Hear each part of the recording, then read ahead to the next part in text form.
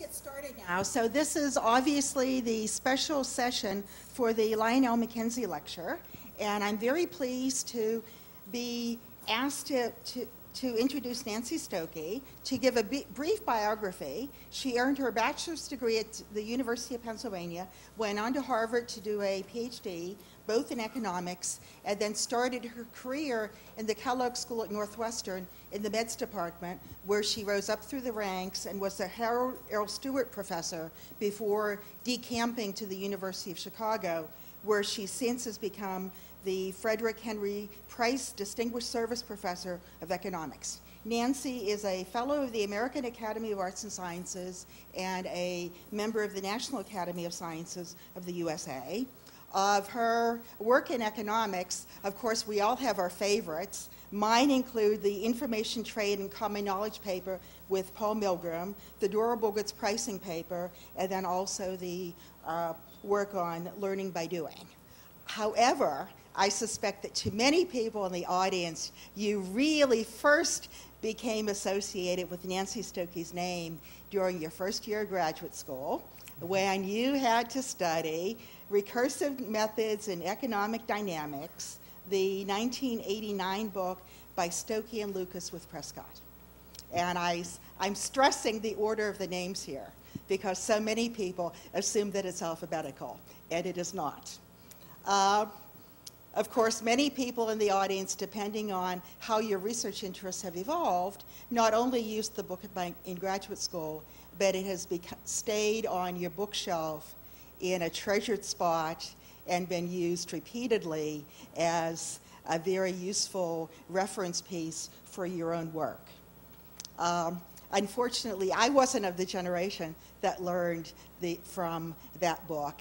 Instead, I first met Nancy when we were both graduate students, and she was one of a small group of students that Ken Arrow brought to Stanford for several months every summer. And I think this means that I met Nancy before Bob did, just for fun. Uh, anyway, I think it's very appropriate that Nancy is giving the Lionel McKenzie lecture because you know, we, we tend to associate McKenzie, of course, with, with general equilibrium theory, and definitely with his stance on doing economics rigorously and doing rigorous economics, not just in economic theory, but over a wide range of applications. And of course, McKenzie has also done some work in dynamic economics too.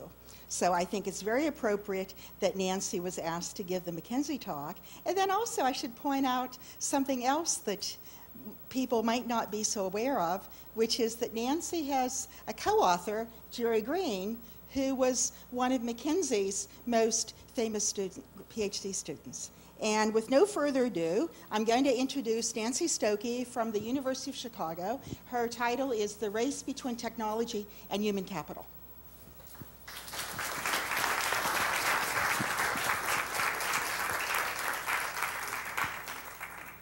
Well, thank you all for coming. It's, a, it's an honor to be here giving the Lionel McKenzie lecture. Um, he was a great economist, and uh, uh, so it's a very great honor. And it's also a great pleasure to be here this year uh, to celebrate Aloisio's 70th birthday. And, you know, other people have said it, but I'm going to say it too. You know, his, his in addition to his many contributions to the science of economics, you know, he's also made so many contributions to the profession in many ways, just, you know, and I would say like in two hemispheres, um, both the northern and the southern, and, you know, through his many, many students. Um, so it's, it's wonderful to be here. Okay, so this paper is about the, the I call it the race between technology and human capital.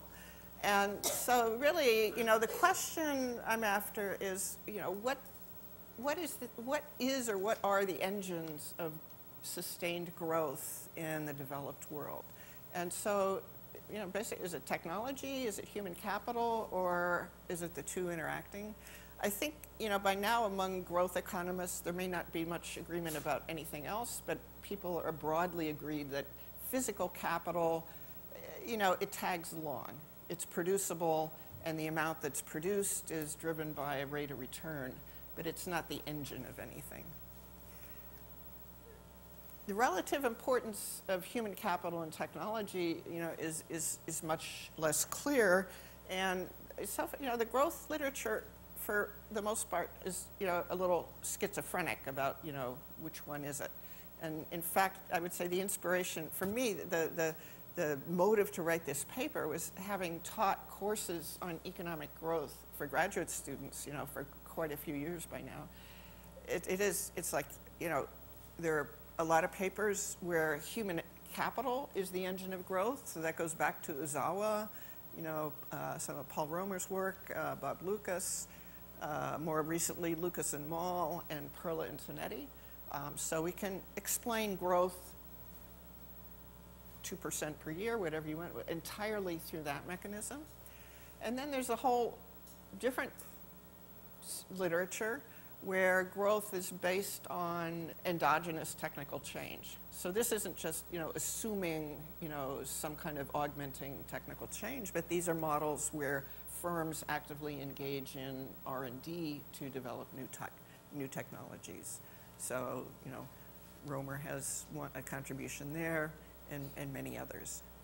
And then there, are, you know, there, there's more literature on growth as well. But I would say it's, it's, like from my own point of view, it was trying to think about, you know, it, you feel a little schizophrenic. You know, we can explain all of growth this way. We could all, we could also explain it, you know, that way. You know, take your pick. So here I'm trying to uh, put, construct a model where, you know, we could, you know, you ask what, what's going to help us, you know, pick. I guess it's empirical evidence. So we need to somehow have a framework to let bring some empirical evidence to, you know, bear light on the question. You know, and so what is what what are the what kinds of evidence do we have? I would say these are some of the examples. So they're growth accounting exercises. You know, they started with Solow's uh, 57 paper. They've been done, you know, for many countries, just looking at growth over time and parsing it out between human capital, physical capital, and the Solow residual. So that Solow residual is technology. Uh, you can do the same thing with cross-country data. Instead of look, taking one country over time, line up all the countries in the world from you know poorest to richest, and do the same kind of exercise there. And in both those cases, you get, you know, human capital has a, a substantial effect. You know, it, has, it, it, gives some bite, but there's a lot, you know, that Solow residual technology is always big too. And then I've argued in other places that if you look at developing countries, it's, uh, to me, hard to explain very rapid episodes of growth unless you say there's some technological spillovers coming in from abroad. So the extreme examples are the growth miracles, but um, uh, you know, uh, Prescott and before him uh, Alexander Gerschenkron back in the you know 1960s talked about the advantages of Gerschenkron talked about the advantage of backwardness that you know you don't have to reinvent all the wheels yourself. You can, and and Prescott kind of formalized that evidence with uh, his picture on doubling times. Okay, so the contribution of this paper is to develop a model where both human capital and technology play a role.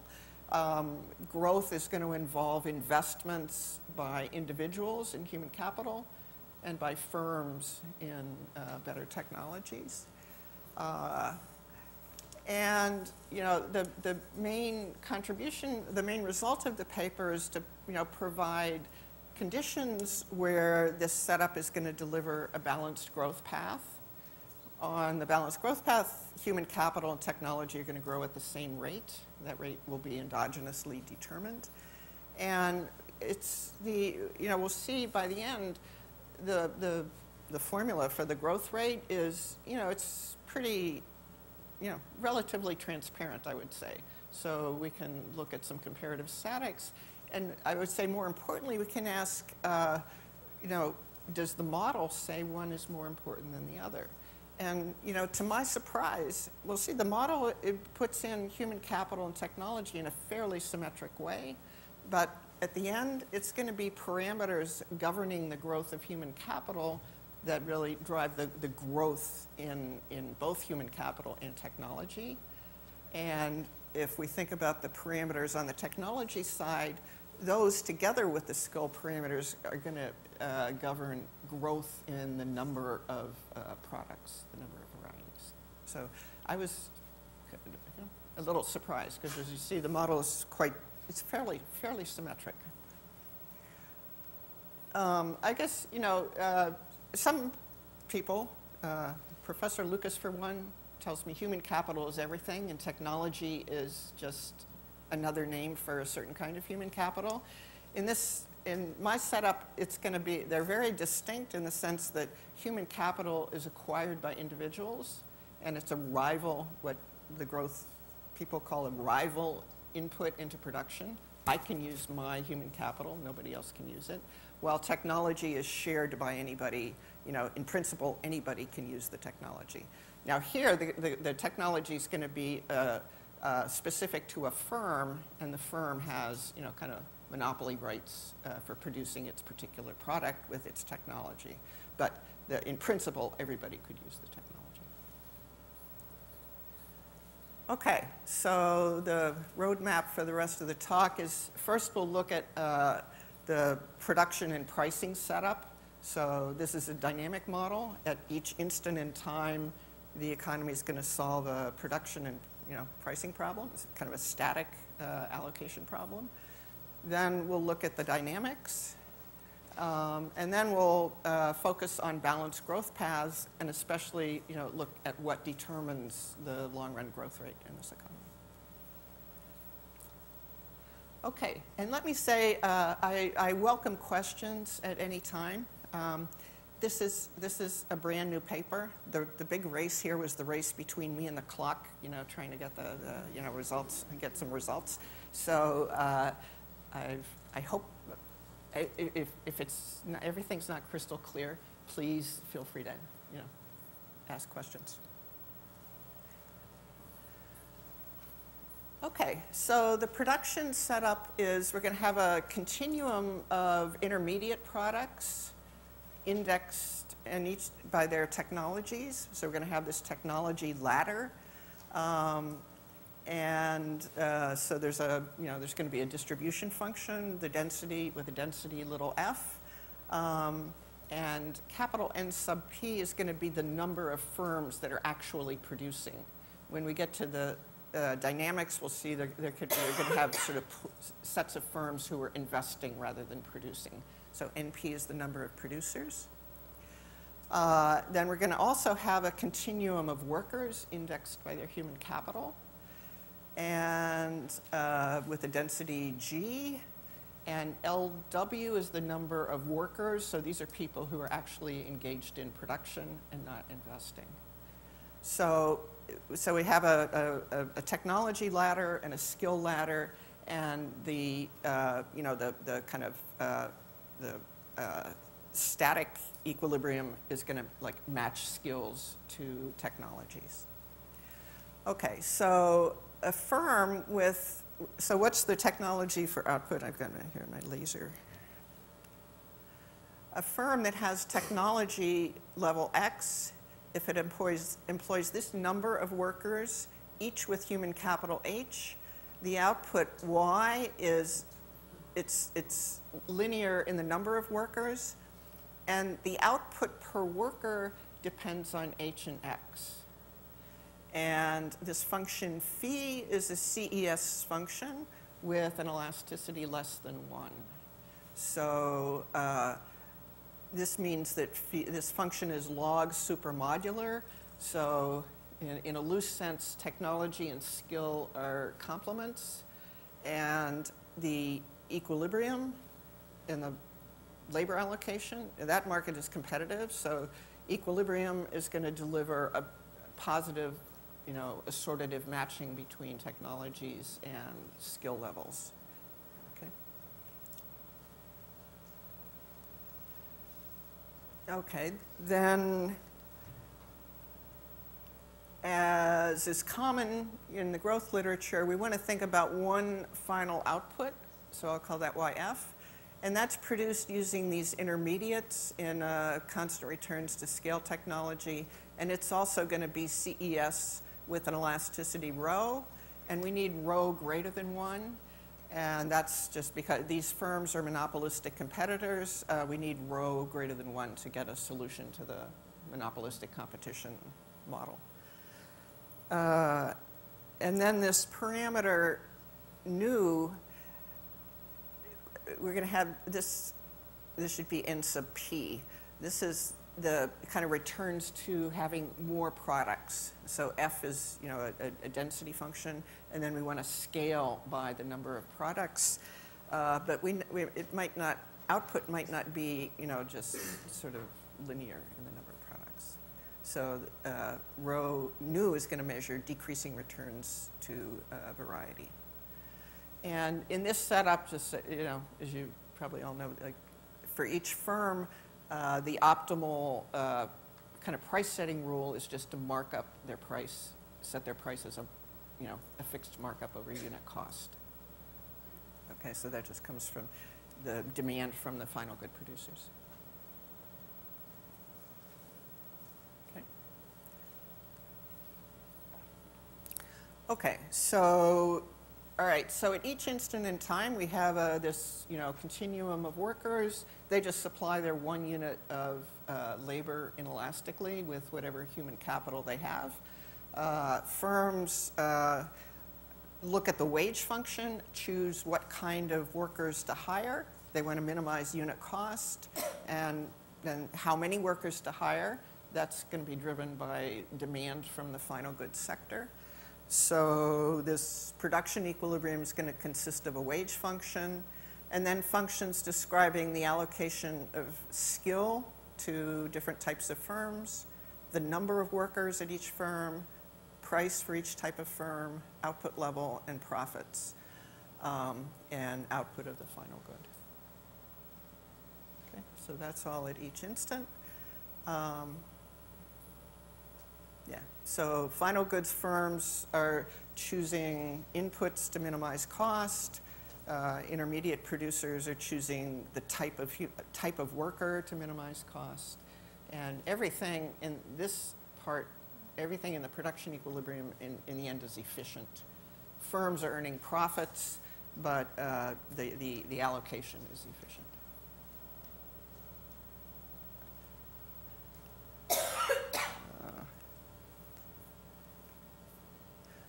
Okay, so, so production equilibrium is described by all the parameters, the number of the number of producing firms, the number of you know workers, people actually engaged in work, and the two distribution functions. And it's pretty, it's pretty straightforward to show you know there's a solution and it's unique and it's efficient.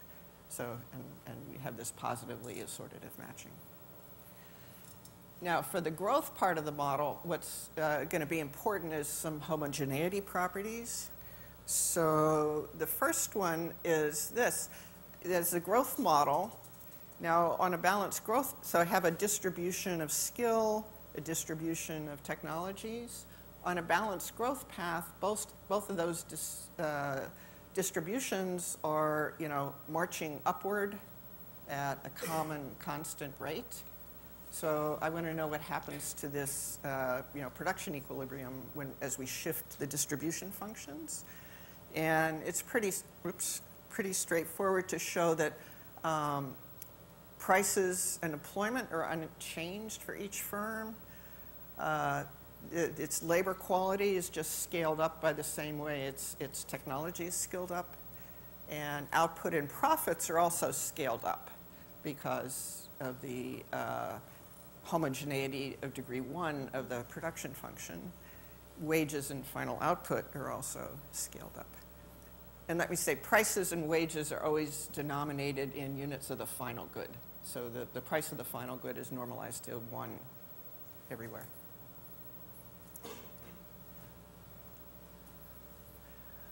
Okay, and then the second lemma has to do with changes. I want to allow pop population growth, potentially, and I want to allow entry of new firms. So increasing the number of workers, what happens? Um, employment, output, and profits at every firm are just scaled up by the growth in population. Uh, prices and wages are unchanged. If I increase the number of firms without changing the distribution function for technology, um, uh, what happens? Well, the allocation, uh, this function H star is unchanged, so we still get the same relationship between human capital and technology, but you know, each uh, firm is going to have to uh, employ fewer workers, so employment per firm is scaled down. Um,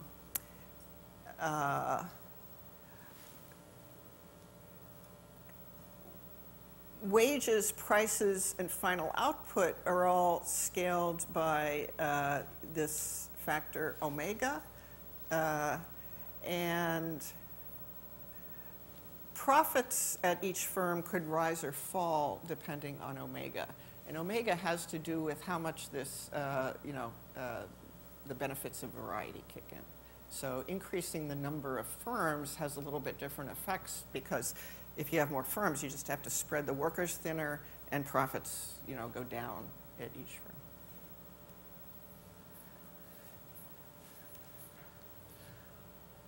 Okay, now this is really the key to the tractability of this model. And I was, you know, I was very happy when I discovered this fact that if both of these distribution functions are Pareto, then the, this, what I call a production equilibrium, has a very particular simple form. Um, got, they're both Pareto, and they have to be, you know, aligned in a certain way. So, you know, a Pareto has a lower threshold. The two lower thresholds have to be uh, uh, have an, the, the rate ratio. Um, okay, so we're going to make F have parameters, alpha is the shape parameter, xm is the lower threshold, G has parameters gamma and hm. Uh, I want gamma and alpha both to be greater than 1, so that's what you need for a Pareto to have a finite mean. And I need this elasticity E to be between 0 and 1. So this elasticity, you know, involves the difference between alpha and gamma. So the two Paretos don't have to be exactly the same shape, but they can't be too different from each other. So if we look at the difference between alpha and gamma, you know, there could be a wedge. Zero is okay, but there could be a wedge, but the wedge can't be too big in either direction. Okay, so this elasticity uh, we're going to see again later. So that thing has to be between 0 and 1 and this ratio between the two lower thresholds of the two Paretos has to be a certain constant. That constant depends on eta, and it depends on the weight parameters and the elasticity of the, that production function phi.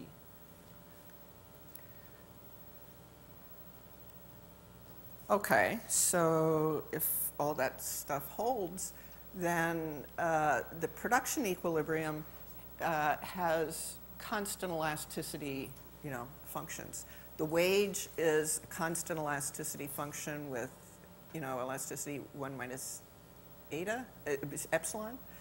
Uh, the allocation of uh, skill to technology is linear with uh, uh, this coefficient AH. And then the price, output, employment, and profit functions are also isoelastic, you know, and they have, they each have their own elasticity on X. And the one that's going to be key for dynamics is the profit function.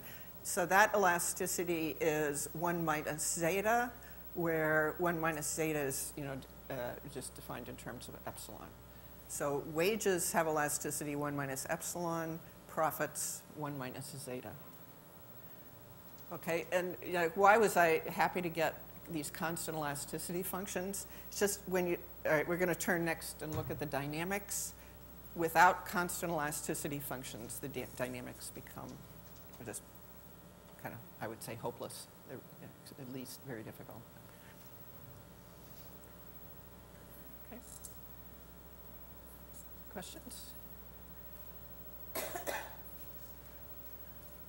okay, so now the, for most of the rest, I, I'm going to specialize to the case of Pareto distributions. And then the investment mechanism I'm going to use is just adopted from uh, a recent paper by Perla and Tonetti. And, you know, why do I like their investment function? It's very simple. So investment is just going to be a zero-one decision. Uh, firms can, you know, they have a, a one-factor model. They, they, they call it technology. I would actually call it more, something more like human capital. So they have these agents. Each agent has his X, and you can produce and get output X, or you can take one period off from production, pay that opportunity cost, and get a new draw that's drawn from the set of current producers. So that's the investment decision. It's just the only cost is an opportunity cost, and the, the, uh, the outcome is you get a new draw. Okay, so this is just taken from their paper. So they're, you know, they're, they have one factor and it's in discrete time. And so it's just, if you start with uh, this Pareto in period T, there's going to be a set of uh, agents. And, you know, who wants to pay the opportunity cost? It's the guys at the bottom of the distribution. Like everybody who invests is drawing from the same pool. So the guys with the lowest opportunity cost are the guys at the bottom. So these dynamics is just going to always chop off the bottom of the Pareto distribution and, and shift it outwards. Okay, so, so that's it. So I'm going to have that kind of investment on both sides. Okay, so, but I'm going to add a few more bells and whistles as well. So uh, my, my model is going to be in continuous time. So agents who want to start investing are always going to be the guys at the bottom. And if we look, say, at, at you know, firms, there's going to be a set capital NP of firms that are actually producing, and then another set, I'm going to call it N sub I, and they're going to be like a pool of investors. So any firm can, and it's going to be the firms at the bottom of the distribution that choose to do this, they can jump out of the set of producers into the set of investors. And then those, those guys are all identical. They've given up their old technology.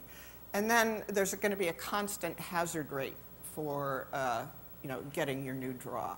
So I'm going to have a pool, and the hazard rate is going to just governs how fast you re-enter the set of producers.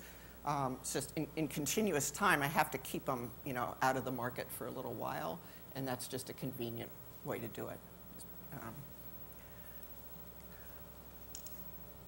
okay, so what's going to happen on a balanced growth path? Um,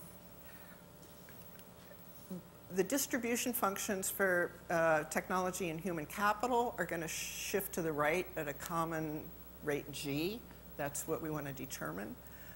Uh, population is going to grow at a constant rate. Uh, new, that, no, what is that thing? New, whatever. Uh, but, and that's exogenous. The number of firms is going to grow at a constant rate, and that's going to be endogenously determined by a free entry condition. And so on a balanced growth path, total output grows because of growth in technology and skill, population growth and growth in the number of firms. Uh, per capita consumption grows only because of G and N. And profits per firm grow because of G and population growth, and the effect of N depends on omega. Could in that, uh, so this term could be positive or negative.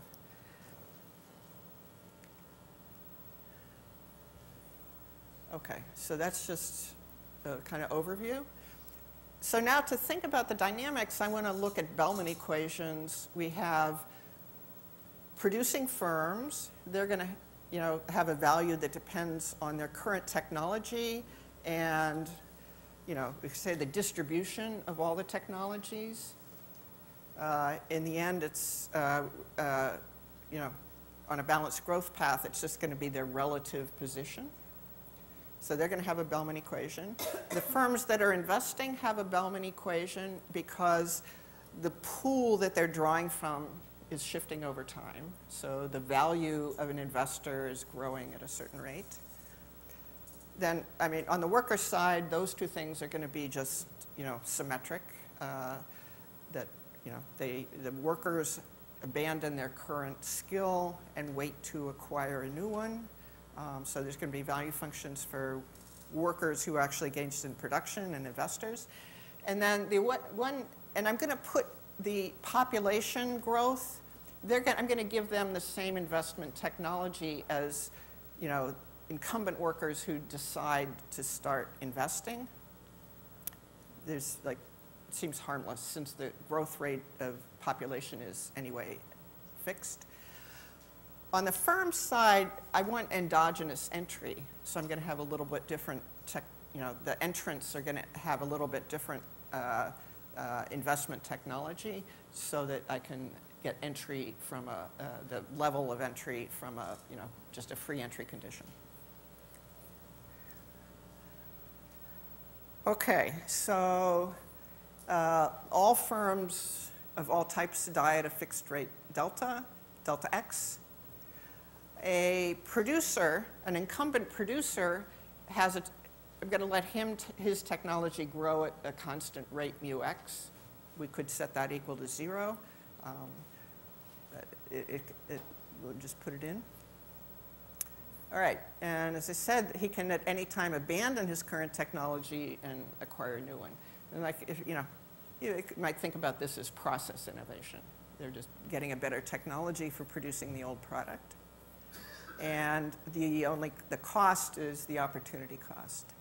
Okay, and success, once a firm is in this pool of investors, success has a, uh, you know, a, a constant uh, arrival rate, lambda x and conditional on success, they get a technology that's a random draw from the set of incumbents. And so the, the uh, you know, for me, the, you know, I have to think that the, the, the issue is to uh, figure out what the, what the appropriate threshold is for, you know, investing firms. Who wants to invest? Okay, so we're going to have a value function, you know, it, I'm going to I'm going to go through this with you know the t's in the value functions, just uh, for, and then uh, and then we'll look at the the normalized form, what they're going to look like on a balanced growth path. So at day t, the value of an incumbent producer with current technology x, and this is going to be the value of an investing firm. Um, they're going to you know they're going to evolve over time. So the Bellman equation for an investor, it's his, what's his, his uh, R is the interest rate, and then there's uh, exit at this fixed rate delta. So uh, his, this is like the, uh, you know, kind of the appropriate flow return has to be equal to lambda is his, uh, uh, the success rate, if he succeeds, what he gets is the difference between the expected value of incumbents and his current thing, and then there may be some growth just because you know the whole economy is growing. So that's the Bellman equation for an investor. he has no decision, so this is just you know that's what it is. It's a you know a differential equation. Uh, the Bellman equation for a producer, well, as long as he's actually producing, you know, he doesn't have any other decisions to make. His, this profit function is what it is. That's already, profits are maximized. So his, you know, the appropriate, uh, you know, rate of return for him, it's coming from his profit flow, plus he's getting growth at the rate mu x, plus he's getting some growth because the whole economy is growing. Now, I also have to think about the, uh, the, you know, the optimal choice of, you know, who's invest, who's, who's, for whom does this Bellman equation apply, and what's the lower bound? Where does, you know, who chooses to invest? And if you look at that problem, you see that you know there, there's there are going to be two conditions. So these value functions have to match up at the lower threshold. The levels and the derivatives have to match up. So um, so that gives me uh, the the value matching and smooth pasting give me this at, at the lower level. This equation has to hold. The right at the threshold, the firm is indifferent between producing or investing. And, uh, you know, since all investors are the same, that's the derivative.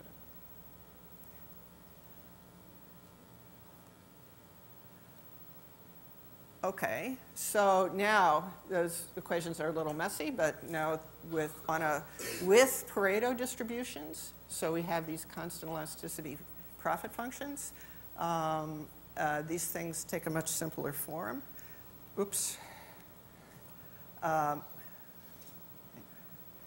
all right, so the, the, we're going to need that the growth rate for the for technology in the economy is, is, is bigger than mu x.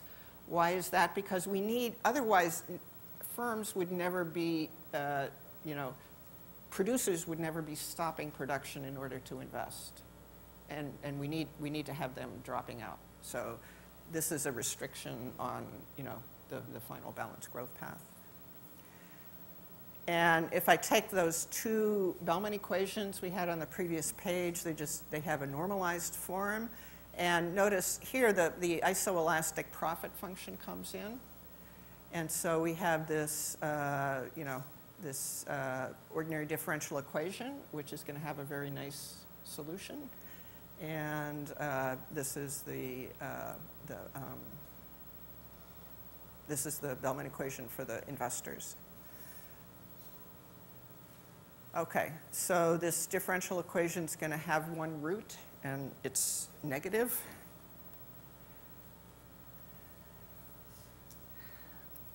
Okay, so if I think now about solving, you know, what do these normalized solutions look like? Um, the normalized distribution function, just, you know, I normalized by setting uh, the average x equal to unity. And so that tells me what the lower threshold is for the normalized thing. And then uh, the smooth pasting condition, I mean, if you think about the economics, that determines XM as a function of this value of being an investor. Sort of the mathematics of solving the model say, uh, given XM, this equation lets me back out this value. And then if I look at the value matching condition, you know, first I'm very nervous because I think I've already got XM, I've already got this value of an investor what am I going to get out of here? And the answer is that this thing factors out of the value matching condition, and I just get one equation that involves G and N. Okay, so, so that's that.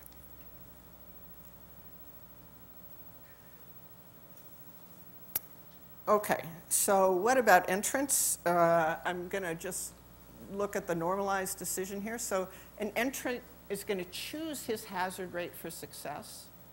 And while he's investing, he has to pay a real cost to, uh, you know, for the R&D, and the cost is a strictly convex function of his hazard rate, and it's zero at zero. So what's, what's the Bellman equation for an entrant? He has an active decision. He has to choose this hazard rate. If he succeeds, uh, you know, he gets the difference between, you know, the expected value of a draw and his current value, and he has to pay this flow cost.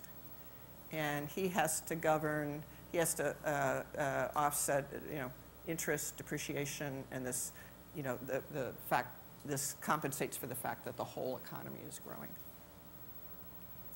And we just, and we get a first order condition for the uh, hazard rate.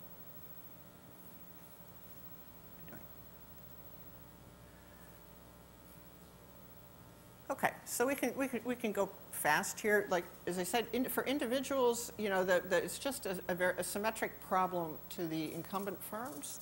Um, so they have a, there's an exit rate, there's a population growth rate, which here is just fixed. There's a growth rate for skill, and there's a hazard rate for success. And new entrants to the workforce, you know, I'm going to have a, a, a population of workers and a population of investors, and new entrants just go into the population of investors.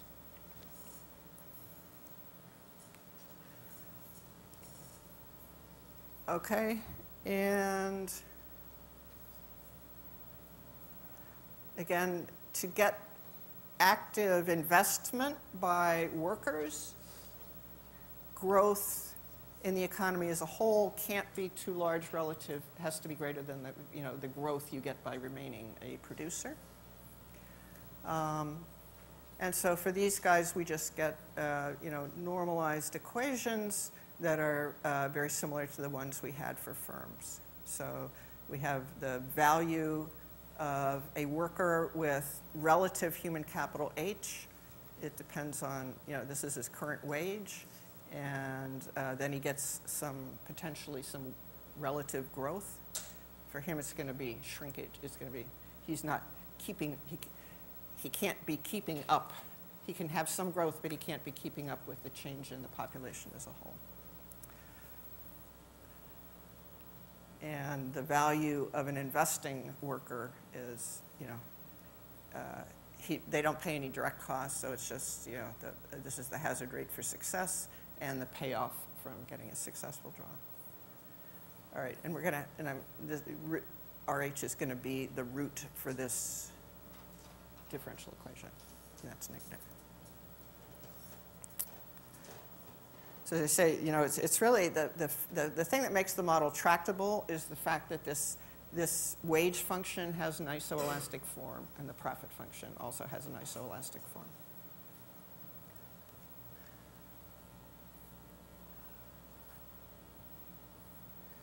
Okay, so again, so on a balanced growth path, you know, XM was deter- the XM for the normalized distribution was just determined by the normalization the lower bound for the, uh, the skill distribution, we have this constant A.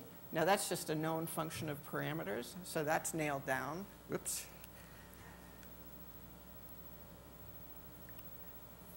And then the smooth pasting condition lets me back out the value of an investing individual. And if I look at the value matching condition, again, this thing factors out, and I get one equation in G and N. Okay, so now in terms of like uh, solving for the growth rate along this balanced growth path, I have two equations in G and N. And so, you know, the I can start by just like looking at those two equations and trying to say something about the, the growth rates. Okay, but before we get there, um, all right, so we're going to have entry of new firms. Well, that just, you know, entering firms, the free entry condition says they're all indifferent they, between entering and not entering, so any number can be entering.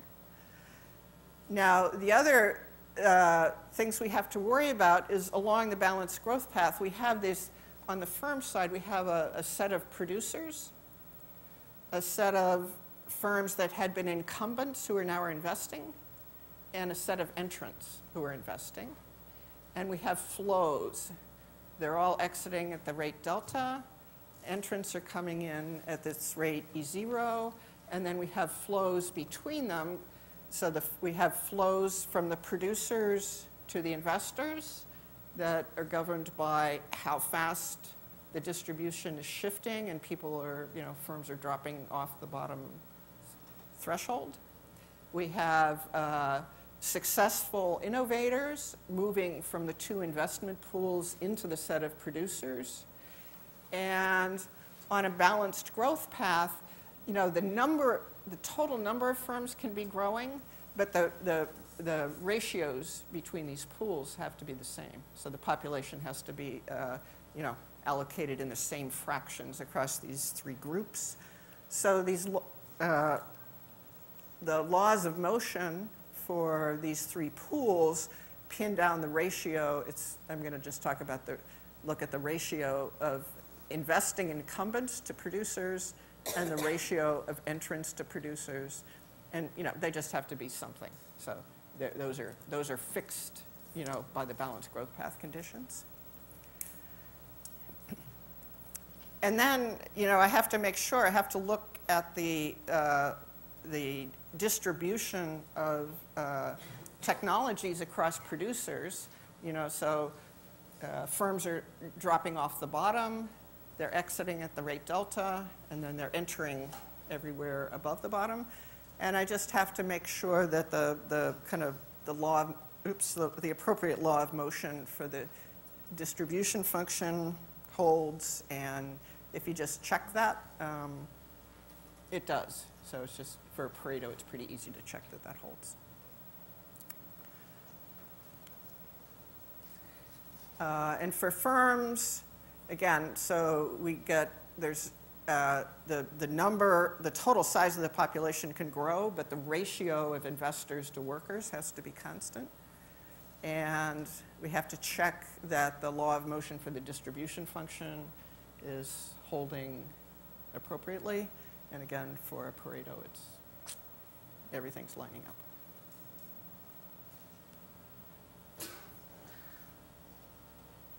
Okay, so the last piece is our, uh, we're going to have households. So we're just going to do the usual thing, which is just organize all of these heterogeneous workers into, you know, a big family. So we're going to have a continuum of households. They're all uh, uh, identical, and each one has a cross section of the total population. The income of this family is going to be the uh, wage income from all of their members.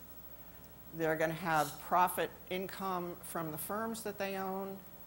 And then they have to divide that income between consumption and investment to finance entry. So um, the optimal investment decisions are already built in. So the, uh, and I'm going to give the household, oops, these uh, kind of standard constant elasticity preferences. Uh, R hat is the rate of time preference. So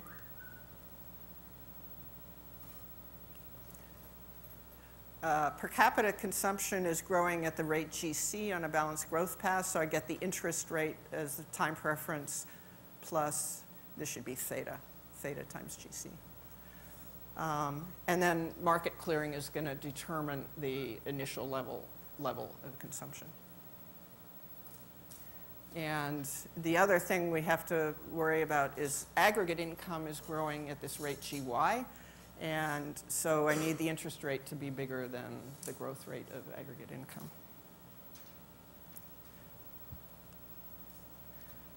Okay, so the main result for the paper is this. For if we have initial distributions that are Pareto, the shape parameters have, you know, they have finite means and they satisfy this one additional restriction. Um, the initial location parameters have to satisfy a restriction. And the initial masses of firm types have to satisfy, you know, those restrictions. Then the, this economy has a, has a competitive equilibrium, which is a balanced growth path, you know, from date zero. Okay, so uh, I guess, you know, I was, I was kind of pleased that at least this setup is allowing, it's allowing distribution functions which are not, they aren't totally locked together. The Paretos have, uh, they can have different shapes, as I said, not too different, but they could be somewhat different. And, you know, the, if you think about the location parameters, that's something that if you, you know, delved into transition dynamics, those thresholds, you know, can kind of adjust to line themselves up if they don't start aligned.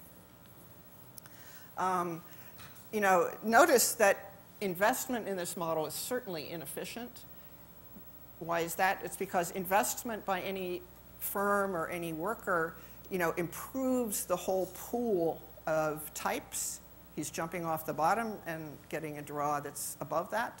And, and his choice, his willingness to pay this opportunity cost of investing is going to give a positive external effect for later investors. So the investment side is certainly, there's certainly too little uh, investment.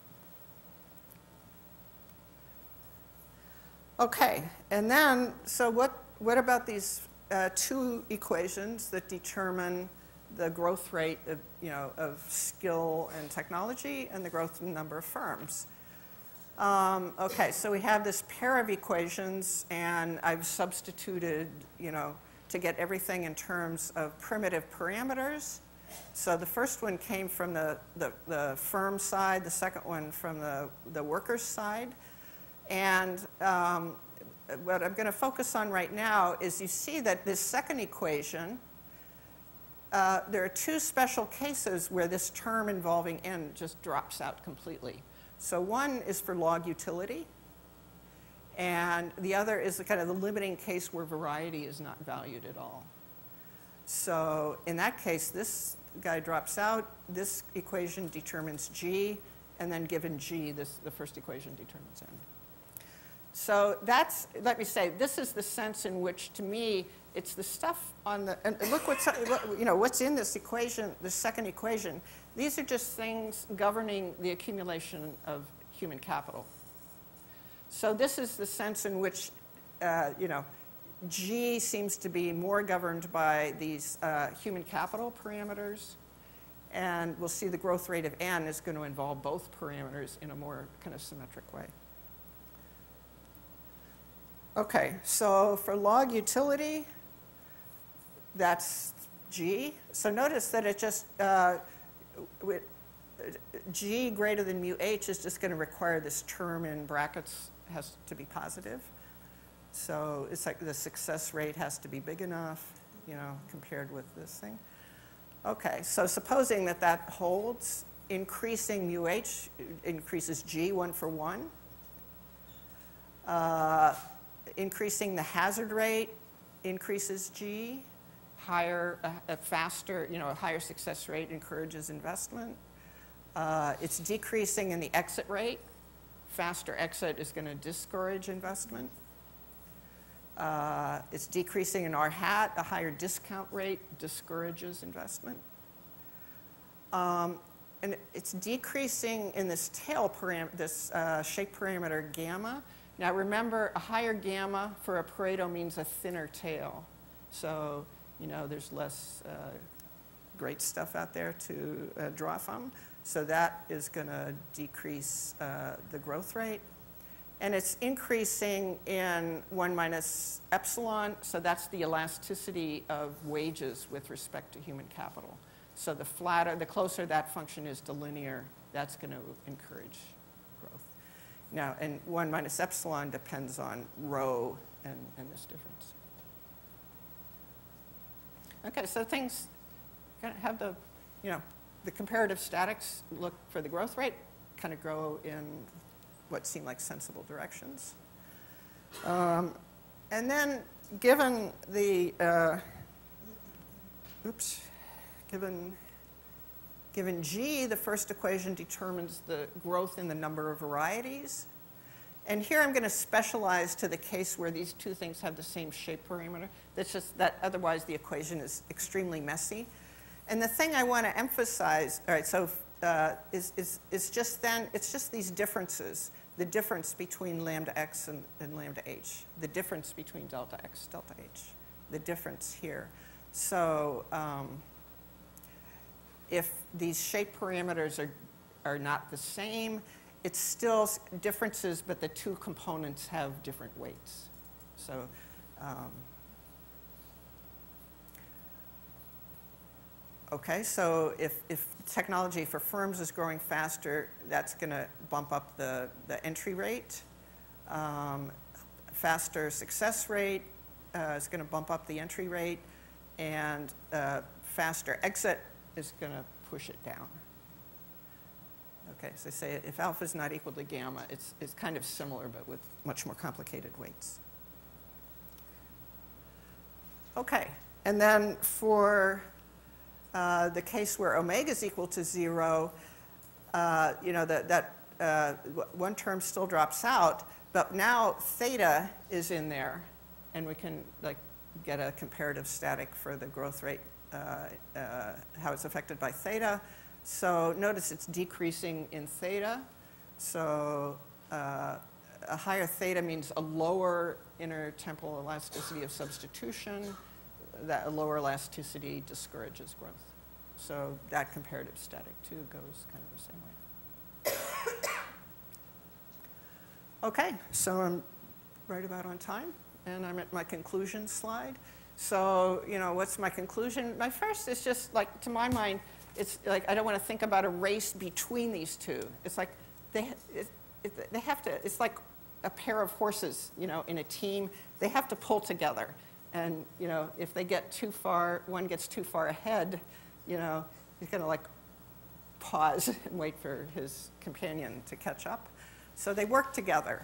Um, and this setup, I hope it will be useful for asking more questions. So, I mean, an obvious one is, you know, what would transition dynamics look like if, you know, if one distribution, if they don't start out perfectly aligned? Um, and then as I started, what, what kinds of empirical evidence would be useful for thinking about, uh, you know, uh, just uh, p- pinning down these parameters? And uh, if, as I said, investment's inefficient, what kind of policies uh, would be useful for making it more efficient?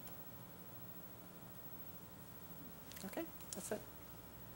Thank you. Thank you very much.